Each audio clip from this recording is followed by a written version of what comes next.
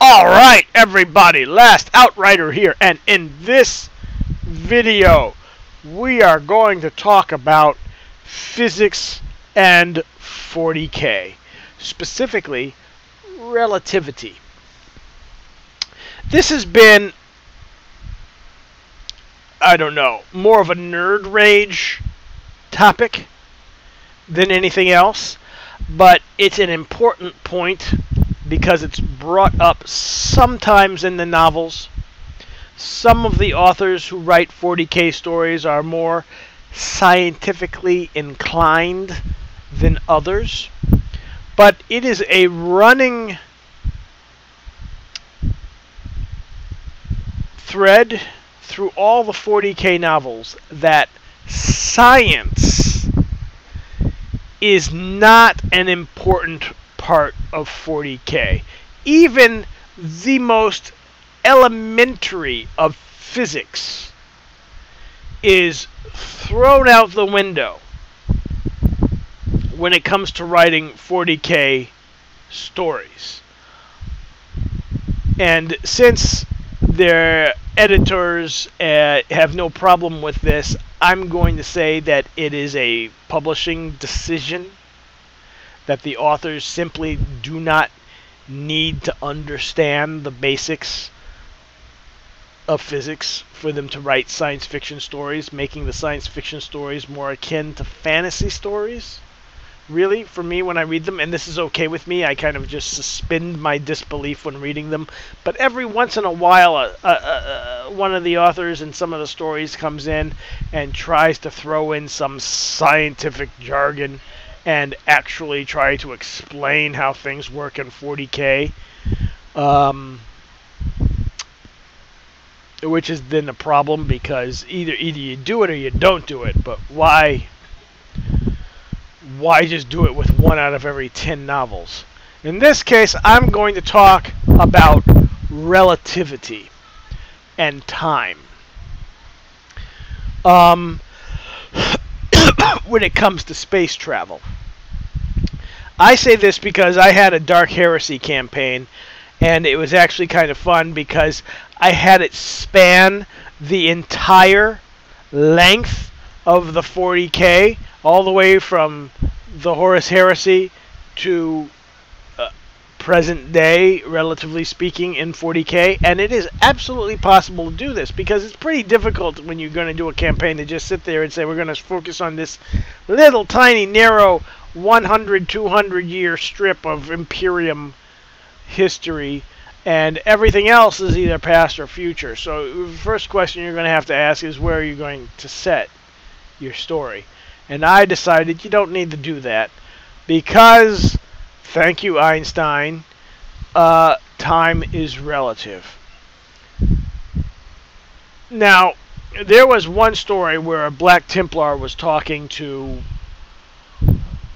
I don't know, another space marine, and they were talking about who was older, and and they had a brief conversation about relativity, about how he spent most of his time in void travel, so uh, he's like um, 680 something years old, and uh, how somebody on a planet might only have been like 100 years old, and things like that.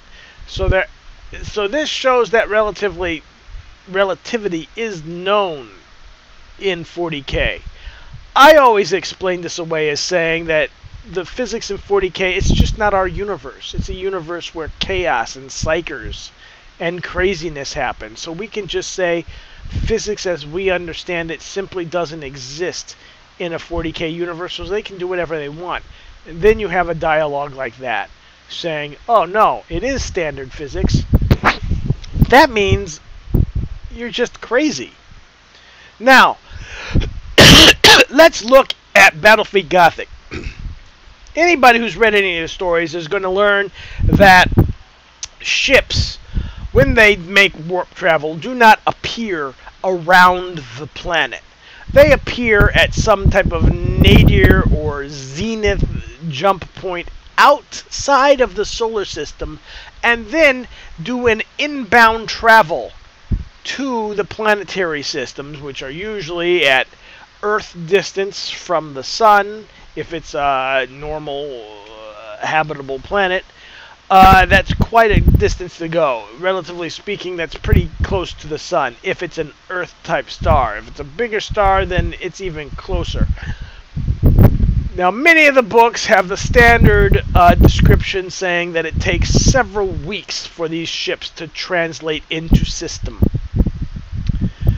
Let me give you an idea about how fast that's going. You may think, wow, that takes a long time. 40K is slow. They're trying to show that 40K is traveling slower than many of these other sci fi universes where ships can just appear around planets and everything like that, and they're just there instantaneously. No, actually, this makes 40K one of the fastest sci fi universes. Voyager. You know the Voyager probe? Launched back in the 70s? Okay? It just left our solar system this year. This year. It took 30 years to leave the solar system. So, from the standpoint of a fleet coming from outside the solar system and making it in to the inner system in weeks is fast. Really, really fast. And they're not using warp drive, which means they're traveling close to the speed of light. Okay? Um, wow. I mean, really close to the. Close enough to the speed of light that time dilation becomes a factor.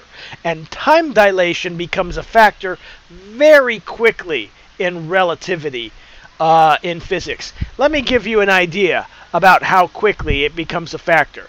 GPS, you know, those little satellites traveling around the Earth that allows the GPS on your phone and whatnots to work, they have to be adjusted every few years because time travels slower in orbit around the Earth than it does on the planet so that these satellites lose like half a second every couple years and have to be adjusted. That's just the distance between Earth and orbit. So, to travel in system, to give you an idea about the speed of light, it takes about 8 minutes for light to travel from the sun to Earth. Okay? It takes a good 15 minutes to 40 minutes to travel out to the outer solar system. So for it to take weeks to travel into the solar system, we're going at a substantial fraction of the speed of light. so much so that time on the planets will be substantially different than time on a ship. In other words, uh, if my calculations are correct, it should be the difference of months. Meaning, when it takes several weeks to travel in system, is it most of the time when they say it takes several weeks, they're talking about from the perspective of the people on the ship, which means from the perspective of the people on the planet, it should be taking months to approach in system with the time difference. This also would be apparent in the actual space combat. Many times when you hear about uh, uh, these inter intrastellar battles, uh, they accelerate to combat speed. It took three days for Apollo 13 to travel from Earth to the moon. Three days. And it was traveling upwards of 50, I think 50 to 80,000 kilometers an hour. So many of these uh, ships translate from the moon to Earth style distances in hours. Hours. So you can see the comparison here. That means on average, these ships are traveling hundreds of thousands of kilometers per hour. Easily at a good 10 to 15% C. 10 to 15% the speed of light. And at that point in time, uh, at that point in time, time is noticeably different on the ship. There is no way you can have a simultaneous universe on a ship as you can on a planet. A fleet having a combat in it wouldn't even be orbit. It would be around the solar system that took hours or even days would take months from the perspective of people on the planet. So you can't have these, oh, we're going to call down an orbital strike. Really? Because, you know, uh, five minutes on that ship will probably be like a day for you on the planet. So, and yet the books portray it as it's happening in real time, simultaneous time for both of them. This is not possible. This spits in the face of physics. Simply not possible. So I came up with some editorial guidelines for Games Workshop if they happen to be watching these videos. For space va- battles to happen the way they describe them in the books. Your battles cannot be happening spanning across the solar system. They must be happening at least half the distance between Earth and the moon. And they should not be the ships should not be traveling any faster than 50 to 80 thousand kilometers per hour. If you want to have any type of real-time relationship with people on the planet, that they could actually tactically uh, work together and coordinate with each other. So this concept that you're going to have uh, combat out in the outer solar system going on, and they're moving at you know 10% C, 10% of the speed of light, going hundreds of thousands of kilometers an hour, um, with thousands of ships, is not possible. It's not. It's just simply not possible. Now let's go on a completely different tangent with a few more minutes that I'm going to have in this video, and that is acceleration in space is a compounded practice. It means that you, with a constant thrust, you will keep accelerating and accelerating and accelerating. So what I did in my campaign is you is take a battleship and I looked I calculated it out that with the with the with the velocities of acceleration that you're dealing with on standard in these books um, if you just continued that rate of acceleration for say a week you could easily start reaching 50% C, 50% the speed of light plus. If you kept this on for like a month, uh, more than that. Now, at that level of speed, the time dilation effect is extreme. We're talking about the point where one hour on a ship would start equaling years on a planet. And this can keep going. And I found this funny because they went through these extraordinary narrative gymnastics to create this new breed of space marines. Right? Putting them growing them in the warp where time is different. It's like you didn't need to do that. All you needed to do was take a couple battleship. Each one of them is supposed to hold like 25,000 each easily. and have them just circle around the Sol system at near the speed of light. You're only talking about 10,000 years. When you start go, you can just start getting up to 75 C, and boom, uh, you can grow all these space marines on a ship in the Sol system. You don't even need to translate into the warp. It can just happen there. Ten thousand years on the ship was uh, one uh, on Earth was just one year, a couple years on the ship. You could say it's five years on the ship and uh, ten thousand years on Terra. No problem. No warp travel necessary. In fact, this should be so easy. There are so many astral phenomenon going on in 40K. You have neutron stars. You have black holes. You have all types of crazy things going on.